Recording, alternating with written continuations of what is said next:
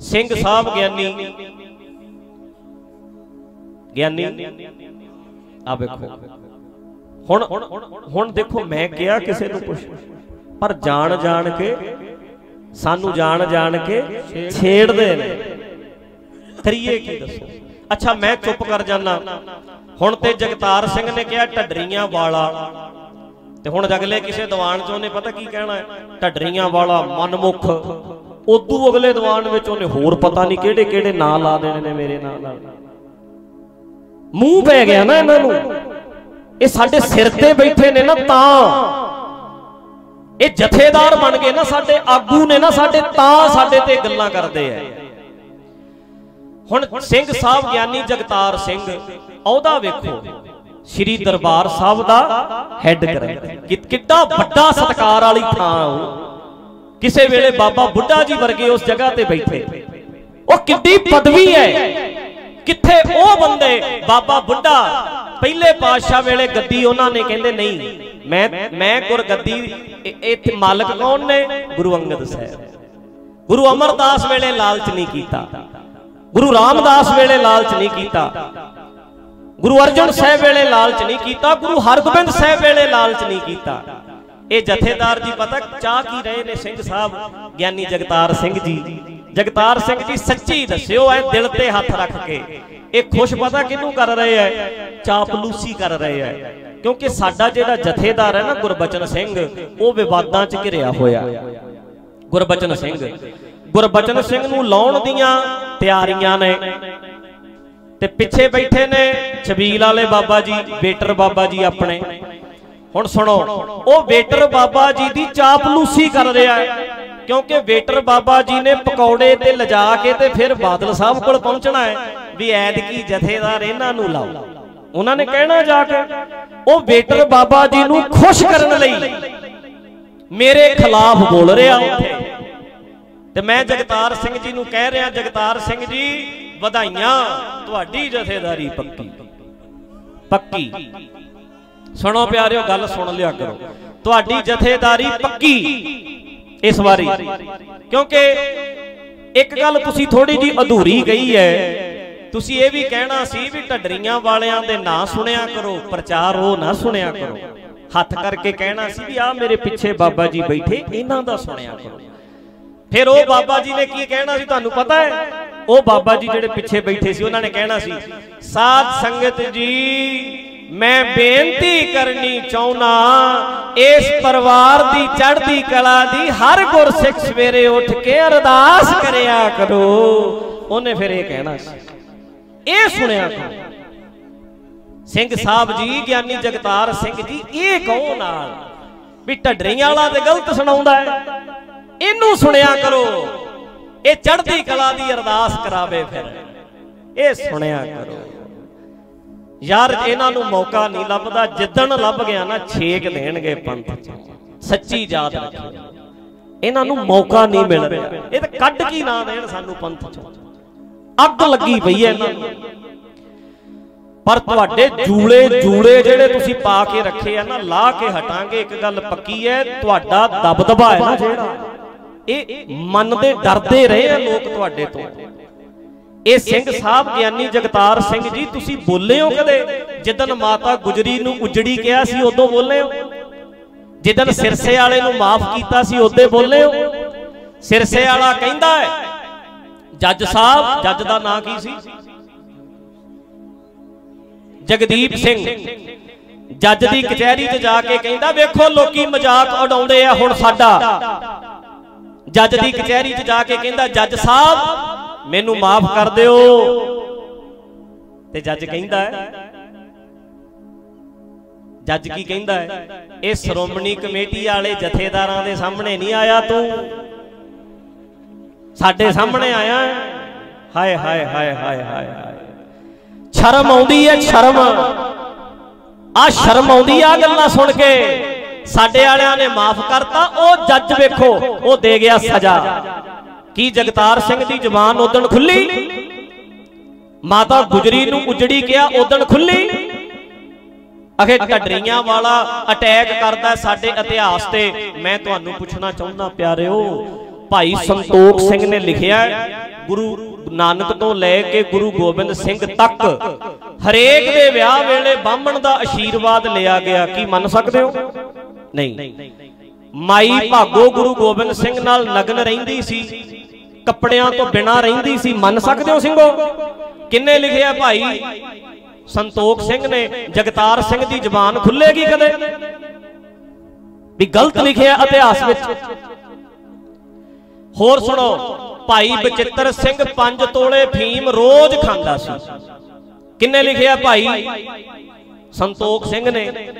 ਗੁਰਦੁਆਰਿਆਂ ਵਿੱਚ ਅਤੇ, ਕਥਾ ਹੁੰਦੀ ਹੈ ਇਸ ਇਤਿਹਾਸ ਦੀ। ਤੇ ਭਾਈ ਬਚਿੱਤਰ ਸਿੰਘ ਨੇ ਜਦੋਂ ਹਾਥੀ ਦੇ ਮੱਥੇ 'ਚ ਨਾਗਨੀ ਮਾਰੀ ਸੀ, ਉਹ ਕਹਿੰਦਾ ਹੈ, ਬਖਸ਼ਿਸ਼ ਦੇ ਕੇ, ਕਿਰਪਾ ਕਰਕੇ ਸਮਝਾ ਕੇ ਨਹੀਂ ਤੋਰਿਆ।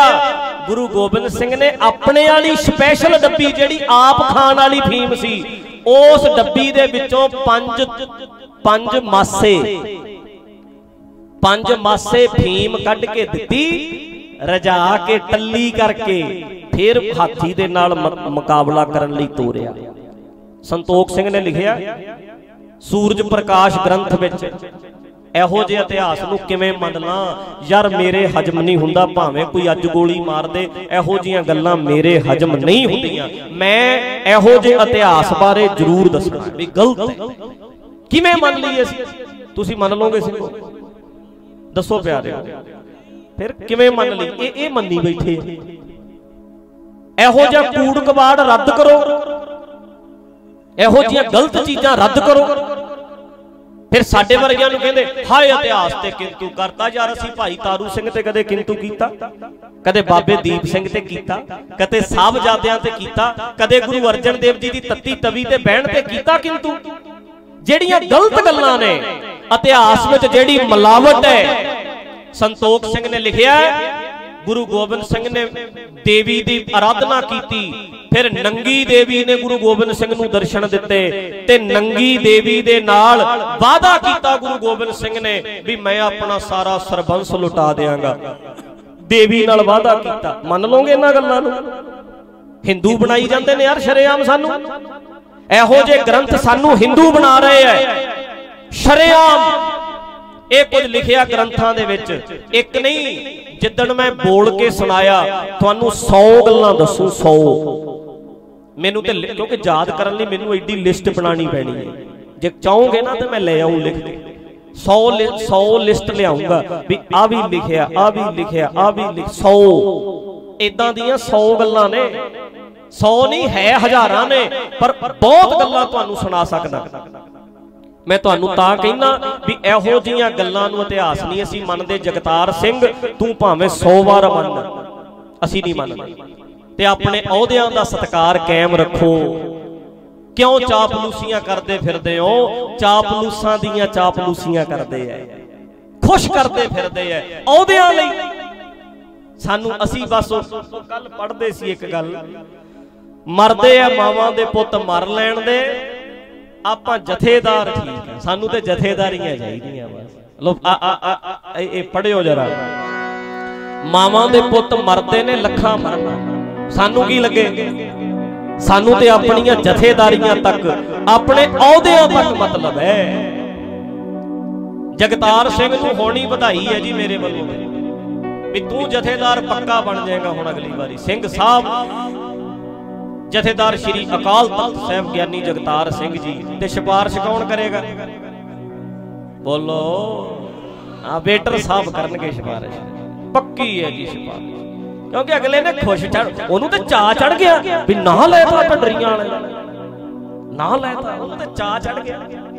ਨਾ ਲਓ ਬਸ ਇਹਦਾ ਇਹਨੂੰ ਇਹਨੂੰ ਥੱਲੇ ਸਿੱਟੋ। ਵੀ ਹੁਣ ਜਥੇਦਾਰ ਹੁਣ ਸਿੰਘ ਸਾਹਿਬ ਜੀ ਸਿੱਟਣਗੇ ਥੱਲੇ। ਅਸੀਂ ਤੇ ਭਾਈ ਡਿੱਗੇ ਹੀ ਪਏ ਆ, ਅਸੀਂ ਨਹੀਂ ਚਾਹੁੰਦੇ। ਮੈਂ ਤੇ ਇੰਨੇ ਸੱਚ ਬੋਲ ਦੇਣੇ ਨੇ, ਚੇਤਾ ਰੱਖਿਓ। ਥੋੜਾ ਚਿਰ ਹੀ ਹੈ, ਬਸ ਆ ਜਿੰਨਾ ਕੁ ਚਿਰ ਮੈਂ ਮੈਂ ਆਪਣੇ ਆਪ ਨੂੰ ਬੰਨ ਕੇ ਰੱਖਿਆ ਹੋਇਆ।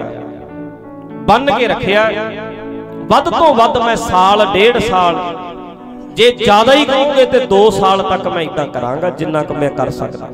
ਪਰ ਮੈਂ ਸਾਰੇ ਸੱਚ ਬੋਲ ਬੋਲਣੇ ਹੀ ਬੋਲਣੇ ਨੇ। ਮੈਂ ਰਹਿਣਾ ਨਹੀਂ, ਸੱਚੀ ਗੱਲ।